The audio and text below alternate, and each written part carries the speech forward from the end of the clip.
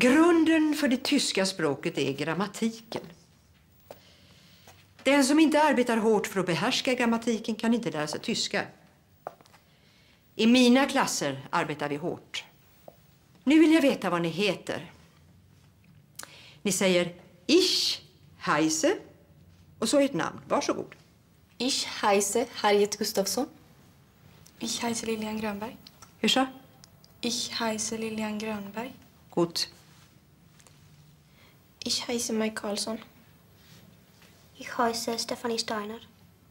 Vad var det där för uttal? Var kommer du ifrån? Från Wien. I skolan talar vi inte wienerisch, i skolan talar vi rikstyska. Det får Fräulein Steiner vara så god att lära sig. Hallå?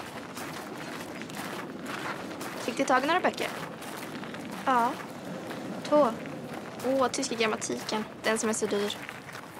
Den hittade inte jag. Jag har fått stipendium. Annars skulle vi inte haft råd med läroverket. Vi är fem syskon förstår du.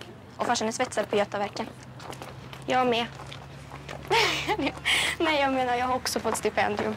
Har du? Hade jag aldrig trott. Du ser ut som... Nej, jag vet inte. Jag är flykting. Farsan har en arbetskamrat som är flykting. Kommunist. Jag är judinna.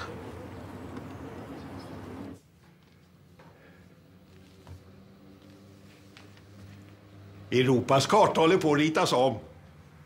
Nydaningen har bara börjat. Från Atlanten till Östersjön. Från Ishavet till Medelhavet tar det nya Europa form under Tysklands ledning. Och då kan ju Sverige knappast stå utanför. Ni ser det ju själva. Det är ett geopolitiskt faktum det. Såna som han borde inte ens få vara lärare. Brun, det får man vara, men inte röd. Röd? Kommunist. Är du kommunist? Det är jag väl inte, men... Ja, men de har rätt i mycket. Det... Ja, samhället måste förändras. Det gamla och ruttna måste bort. Men nazisterna säger också att det gamla måste bort. Och de är emot de rika och för folket, säger de. Ja, de ljuger. Du vet, det är de stora företagen som betalar nazisterna. Tror du att de vinner?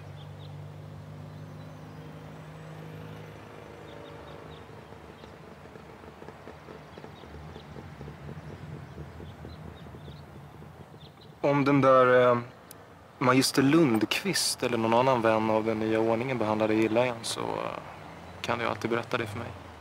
Vad ska du göra då? Ja. Komma ridande på min vita springer och rädda dig förstås.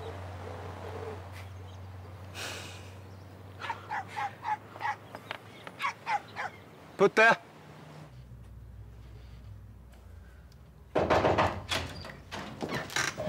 Hur står det till med vår lilla Steffi? Tack bra. Och hur går det i skolan? Bara bra. Vad fint. Jo, Steffi. På lördag kväll får vi gäster till middagen. Och vi vill så gärna presentera lilla Steffi för våra vänner. Jag hade tänkt åka hem i helgen. Det var nästan en månad sedan nu. Jag förstår. Ja, det var ju synd. Jag, jag behöver inte. Jag kan åka nästa helg. Är det säkert? Ja, jag stannar. Så bra då. Ja, då lämnar jag lilla Steffi åt läxorna.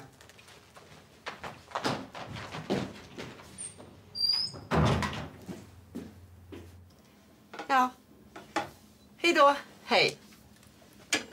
Det var tant Märta.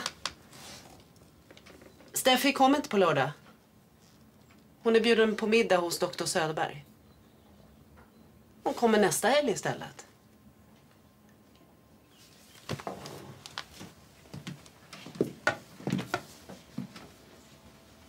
Kan inte bjuda Sonja på saftkalas? Va?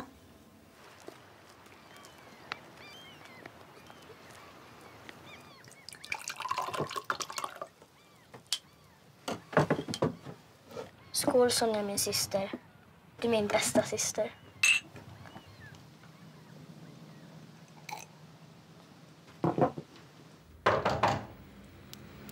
Kom in.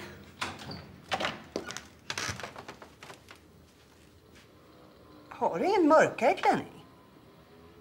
Vänta. Du kan ta av dig den där så länge.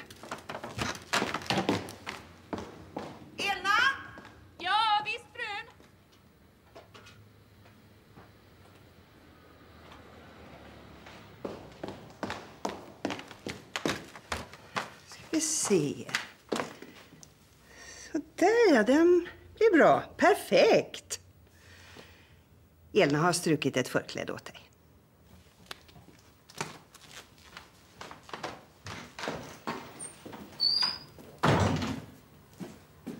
Så, så får du stå stilla nu. Nu får du gå runt här, förstår du. Så. Och var är hålsleven? Jag vet väl inte vad hålsleven Ja, är, är herregud. den jag ska in och bjuda runt Sverige nu. Jag har inte tid med några Det hålslevar. Så. Åh, får vi lägga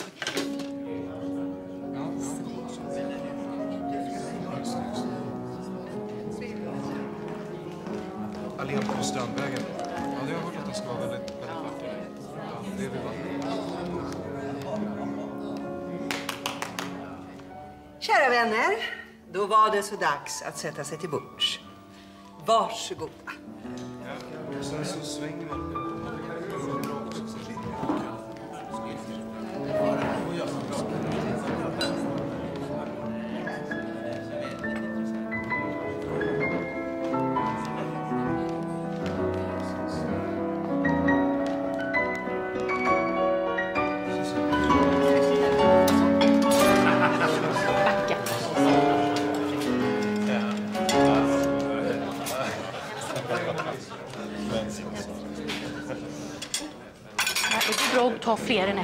Ett? Ursäkta. Så, och så runt. Så. Vad gör ni människa?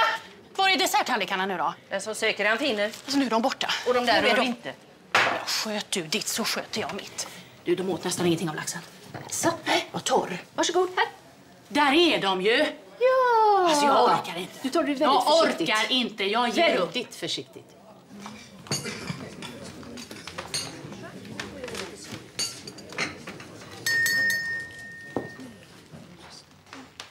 Kära ni, det är någon jag gärna vill presentera för er.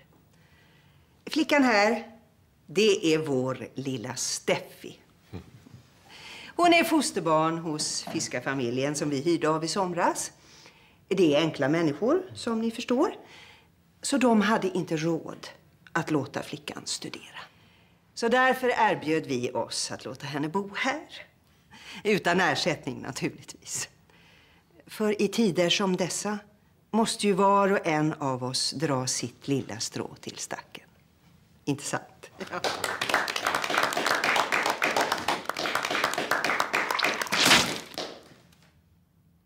Ja, ni får verkligen ursäkta flickan. Det... Hon är inte van vid sånt här. Elna! Skål då.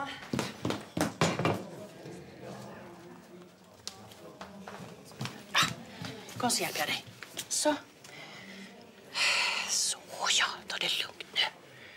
Så. Kan du inte ha någonting att äta i alla fall? Nej, tack. Nej, Men du, det var väl inte så farligt? Va? Vad var det som hände? Hon tappade puddingen. Tappade hon vinskylten? Men de hann väl se den? Ja, då.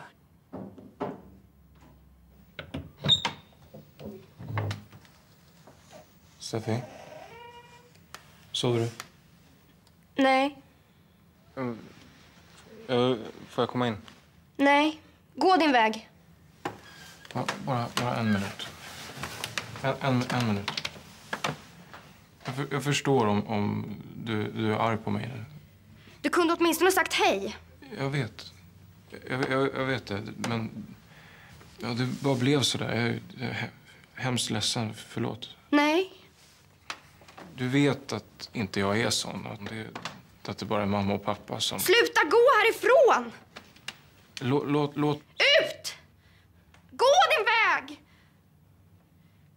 Gå! Ut!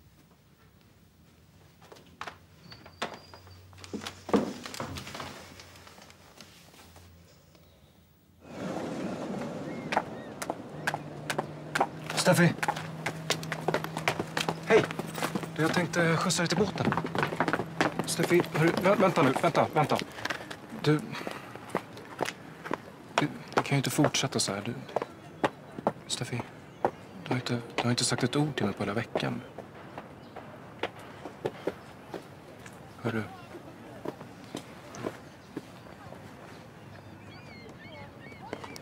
Båten går om 20 minuter. Bra.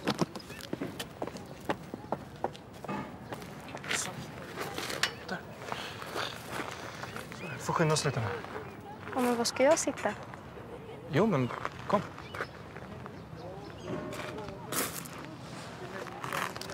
Oj.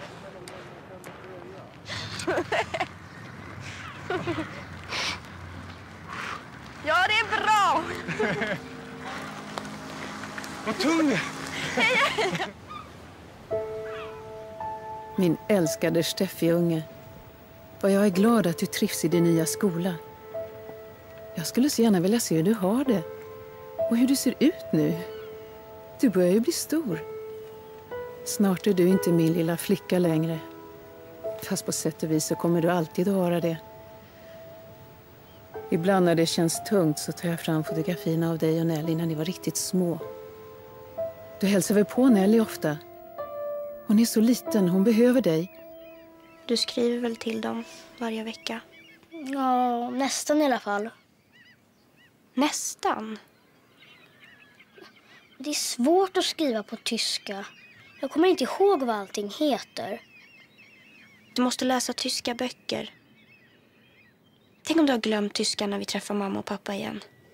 Tänk om du inte kan prata med dem. Du måste skriva, Nelly. Jag ska, men tjata inte. Steffi, tror du att Gud älskar mamma och pappa? Ja, det är väl klart han gör. Varför skulle han inte göra det? De tror ju inte på Jesus. Då kanske Gud inte bryr sig om dem. Vem har inbillat dig det där? Pastorn säger att judar mördade Jesus och att Gud är arg på dem för det. Varken du eller jag, eller mamma och pappa eller någon annan vi känner har mördat Jesus. Du ser lite mager ut tycker jag. Du äter väl ordentligt? Ja, jag får bra mat av doktorinnan. Både kött och fisk. Ja, det är bra det.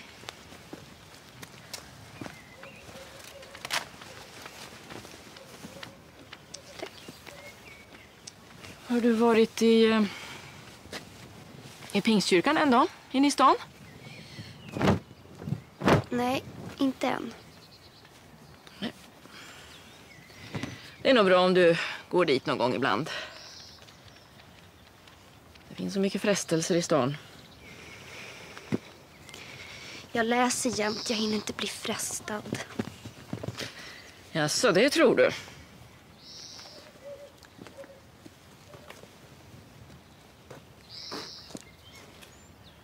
Du har det väl bra där, va? Jag trivs bra. Och skolan går bra också. Eller vad menar tant Märta? Nej, ingenting. Det är klart att du har det bra. Jag bara tänkte att... eh,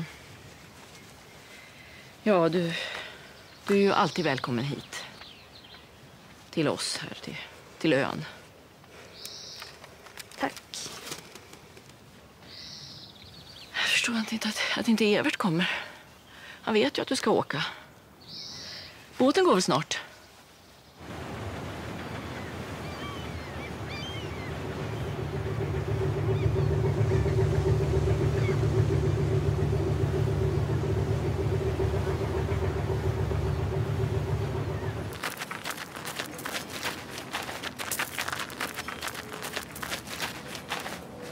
Vem är han?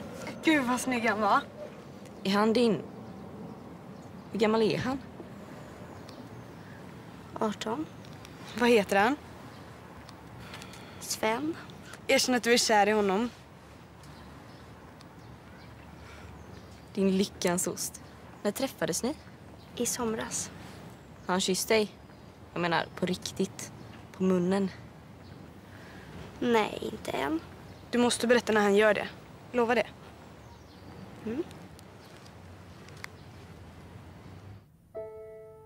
Livet här blir allt mer outhärdligt och alla som kan försöker ta sig härifrån. Själva har vi lämnat in en ny ansökan till USAs konsulat tillsammans med din faster Emilie och hennes familj. Kanske har vi bättre tur den här gången. Vi ger i varje fall inte upp hoppet. Inte så länge vi vet att ni flickor väntar på oss där borta. Men om vi misslyckas så ska du veta att vi tänker på dig och Nelly varje dag. Ja, varje timme.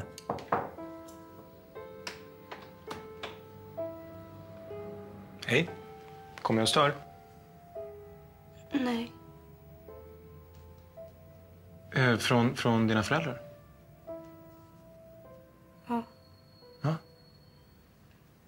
Något nytt?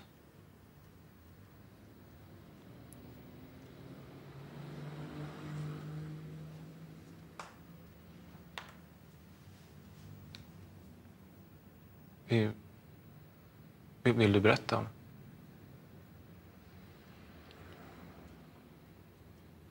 De, de har nästan ingen mat. Mamma måste arbeta fast hon inte är frisk. Jag kan inte hjälpa.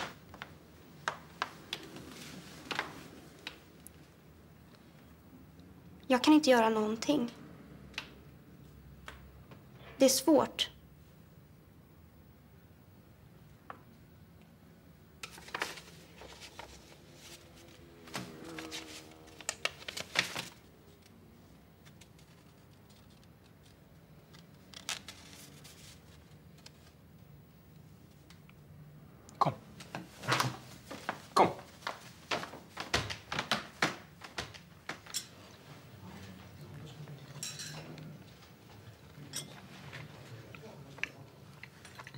Vad är, vad är det? Var den inte god? Jo, men... Men det känns så fel. Här sitter jag och äter bakelser och mamma och pappa får ingen mat. Vet du hur det är, Staffi? Du är här för att de vill att du ska ha det bra. De, de skulle vara så glada om de visste att du satt här och, och åt bakelser. Va? Va?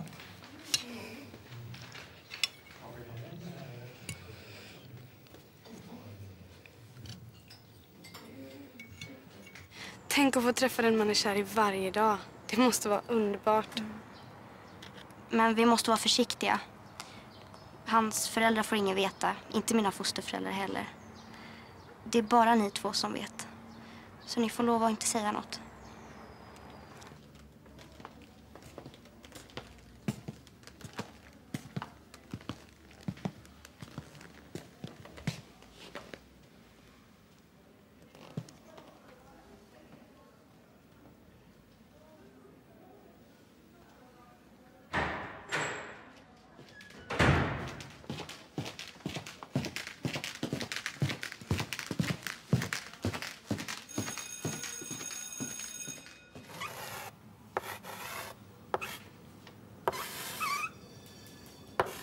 Nej, men Maj, ser du inte vad du själv gör?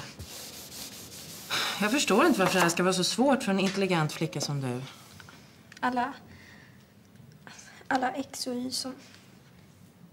som kryper omkring. Vill du slippa ifrån odjuren en stund?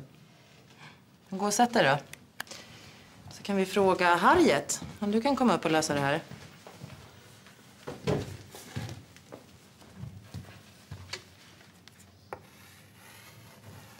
Ska jag hjälpa dig med matten? Gärna.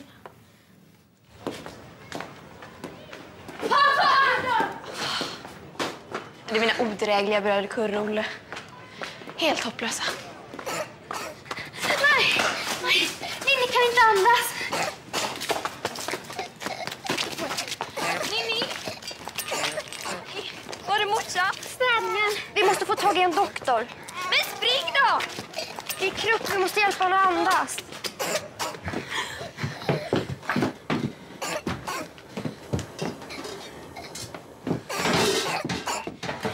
Har du något, något lakan, en filt eller någonting?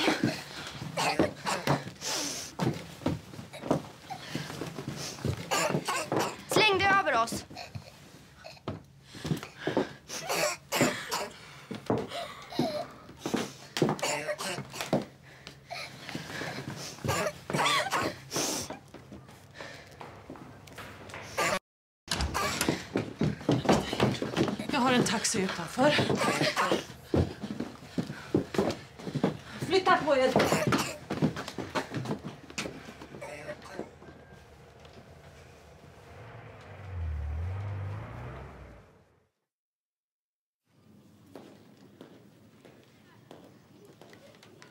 Vad länge det om... Kan du inte vara tyst då? Det är tionde gången du säger sådär.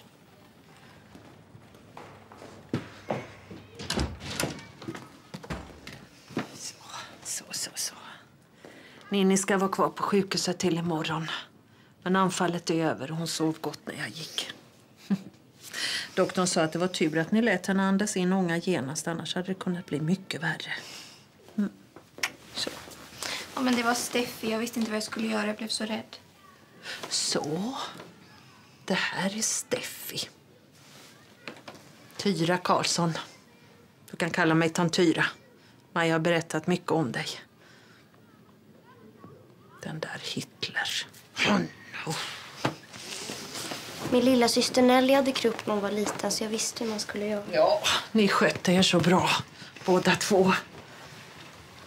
Oh.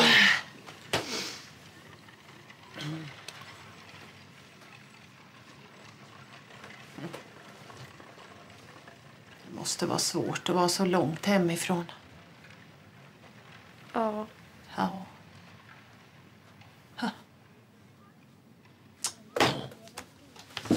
Skilja barn från föräldrar på det där viset. Fa. Det är stor synd och skam. Som om vi inte skulle ha rum för några till här, här i, i Sverige.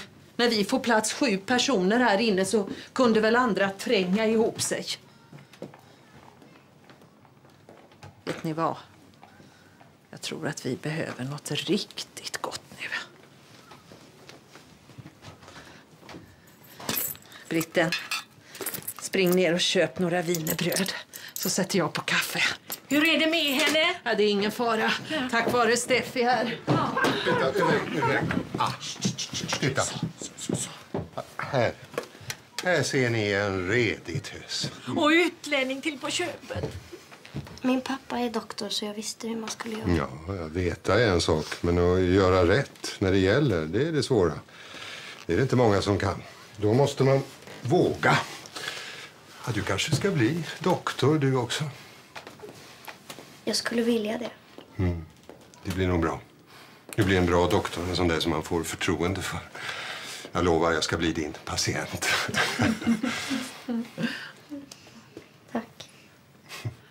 Så tar vi det igen.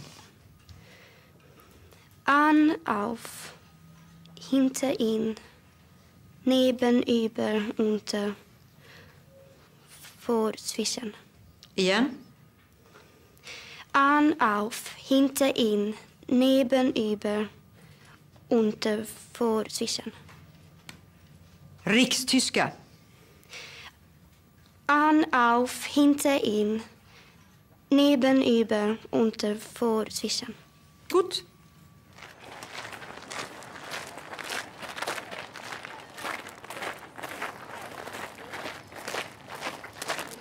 Vad har du för hemligheter med Harriet och Lilian? Ingenting. Varför tror du det? Men tror inte jag har ögon att se med? Tror jag är dum kanske? Jag ser väl att ni håller på och viskar och så blir ni tysta när jag kommer. Du inbillar dig.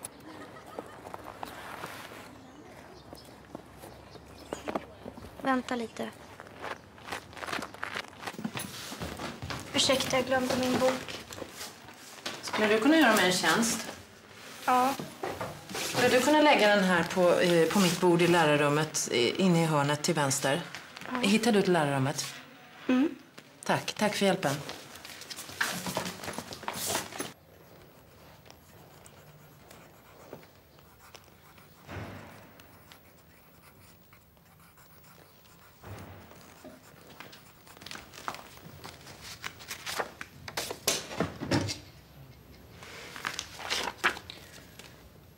Fröken Björk bad mig hämta ett papper åt henne.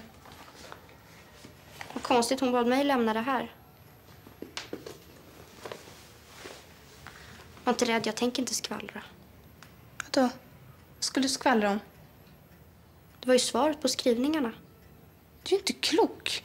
Du inbillar massa saker. Vad är du ute efter egentligen? Va? Vad menar du? Du spionerar ju på mig. Glor överallt i korridorerna. Låt mig vara! Varför hatar du mig? Det är för såna som du förstör för andra. Skämmer ut mig. Hur då? Min familj har bott där i flera generationer. Min pappa har stort företag. Vi är precis som svenskar. Vi umgås bara med de som räknas här i stan. Då är väl allt bra? Nej, det är det inte. För det kommer andra judar. Flyktingar som inte ens kan prata svenska riktigt. Folk blandar ihop oss. Tror att vi är som ni. Det är du som inte är riktigt klok. Om Sverige blir ockuperat som Norge och Danmark. Om tyskarna kommer hit, vad ska ni göra då? Då kommer våra svenska vänner hjälpa oss. Tror du det?